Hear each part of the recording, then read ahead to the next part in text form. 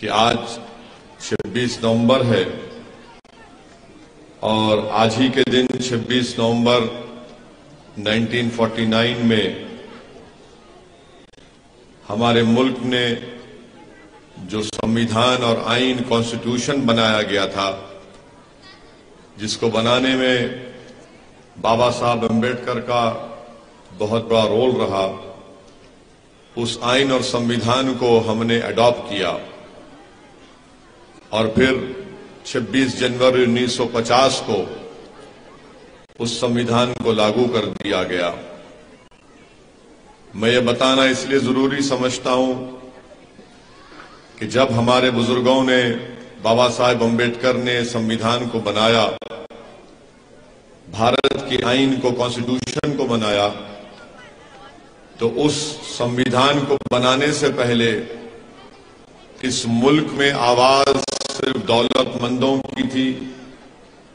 या उन लोगों की थी जिनके पास जमीनात थी या फिर वो बड़े बड़े ऊँचे खानदान से उनका ताल्लुक होता था। मगर जब इस मुल्क को संविधान बन गया, उसका अडॉप्ट किया गया और फिर इसको लागू किया गया 26 जनवरी 1950 को तो वही संविधान आपको और हमको इस बात की इजाज़त देता है कि हम भारत की जमहूरियत में अपने हक के लिए लड़ें। हम भारत की जमहूरियत को मज़बूत करें, चुनाव लड़कर और अगर ये संविधान ना होता तो असदुद्दीन अवैसी हैदराबाद से निकलकर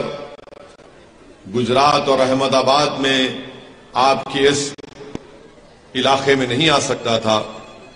तो मेरे अज़ीज़ दोस्तों और बुज़ुर्गों, मेरी जद्दा और माँ और बहनों, भारत के संविधान ने आपको इस बात की इजाज़त दी कि आप अपने पसंद के उम्मीदवार को अपना वोट दें और अपनी आवाज़ को